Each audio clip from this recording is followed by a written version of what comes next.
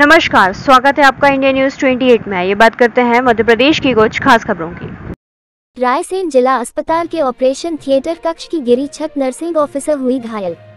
चर्चा भवन में संचालित की जा रही औरती पीआईयू की लापरवाही आई सामने।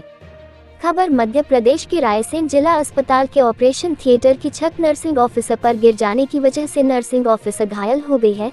इस हादसे के बाद ऑपरेशन थिएटर में कार्य करने वाले चिकित्सक एवं पैरामेडिकल स्टाफ में दहशत का माहौल निर्मित हो गया है। रायसेन जिला अस्पताल के ऑपरेशन थिएटर कक्ष परिसर में बुधवार की दोपहर करीब एक बजे जर्जर छत का हिस्सा नर्सिंग ऑफिसर श्रीमती ममता बाथरी पर गिर गया, जिससे नर्सिंग ऑफिसर के सिर में चोट आई है और फिर सिटी स्कैन किया गया। ओटी के स्टाफ ने बताया कि आए दिन इसी तरह का हादसा होने का खतरा बना रहा है, लेकिन इसके बाद भी औरती को नवीन भवन में शिफ्ट नहीं किया जा रहा है। इससे पहले भी छत गिर चुकी है लेकिन इस तरफ़ ध्यान नहीं दिया जा रहा है।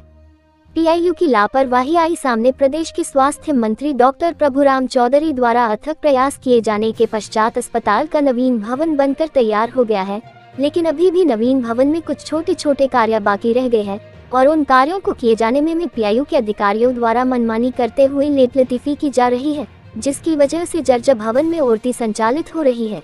जिससे अस्पताल का स्टाफ सहित मरीजों की जान पर खतरा मंडरा रहा है। वहीं इस हादसे के बाद अब पीआईयू विभाग द्वारा दावा किया जा रहा है कि 10 दिन के भीतर नवीन भवन को हैंडओवर कर दिया जाएगा।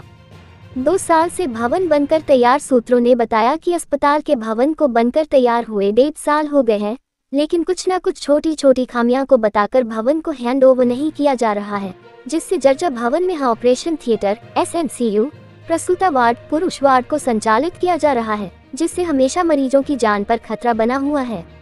सूत्रों की माने तो जिस भवन में अस्पताल चल रहा है, उस भवन को जमींदोज कर क्रिटिकल यूनिट का निर्माण होना है। लेकिन पीआईयू के अधिकारियों की मनमानी की वजह से पिछले तीन माह से ठेकेदार भवन को खाली हो जाने का इंतज़ार कर रहा है। इनका कहना है पीआईयू को नवीन भवन हैंड ओवर किए जाने के लिए कई बार पत्राचार किया जा चुका है, लेकिन नवीन भवन हैंड ओवर नहीं किया है। जैसे ही नवीन भवन हैंड ओवर हो जाएगा, वैसे ही औरती को शिफ्ट कर दिया जाएगा। डॉक्टर विनोद सिंह परमार आरएमओ जिला अस्पताल रायसेन। हमारा पूरा प्रयास है कि 10 दिन के भीतर नवीन भवन को हैंड ओवर कर दिया जाएगा। आइए जानते हैं सुरेश मिश्रा संभागीय यत्री पीआईयू ने क्या कहा?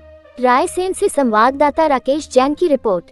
छतें गिर रही हैं आज आपके ऊपर भी गिर गई। यहाँ की बिल्डिंग पूरी ऐसी है जर्जर हो गई है। अभी मैं यहाँ पे खड़ी थी और कब छत गिर गई पता ही नहीं चला। और इसके अलावा पहली बार नहीं हुआ है ओटी में पहले भी एक बार छत गिर चुकी है। पेशेंट जब ओटी के लिए पेशेंट आई थी तब भी गिरी है लेबर रूम में भी छत गिरी है। बारिश में तो आए दिन छत कहीं ना कहीं की गिरती रहती है। आपको भी आज कहाँ कहाँ पर लग गई? मुझे यहाँ पे सिर में लगी है सामने और यहाँ पे लगी है अभी दर्द हो रहा है बहुत ज़्यादा और हाथ में लगी है। क्या लग रहा है कि बिल्डिंग जर्जर हो गई क्या? जी। क्या होना चाहिए अब? ओटी तो शिफ्ट होना चाहिए यहाँ से। क्या नाम देखते हैं? Mrs Mamta Bathri nursing officer इस संदर्भ में हम पत्र लिख चुके हैं पीआईयू को और ये बिल्डिंग जो है टूटना है। जैसे ही हमें हैंडओवर हो जाएगी तो फिर हम लोग ओटी को नई बिल्डिंग में शिफ्ट कर देंगे।